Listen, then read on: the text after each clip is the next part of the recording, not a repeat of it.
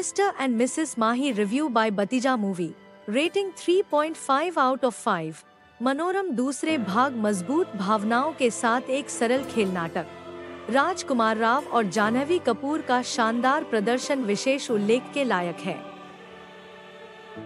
अनुशंसित निर्देशक शरण शर्मा दूसरे घंटे में लय में आते हैं ऋषिकेश मुखर्जी के क्लासिक अभिमान की यादें वापस लाते हैं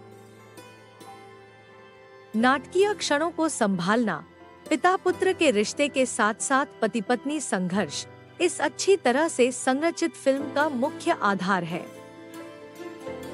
कोई हिचकी? हाँ धीमी गति, पहला घंटा, एक बाधा है।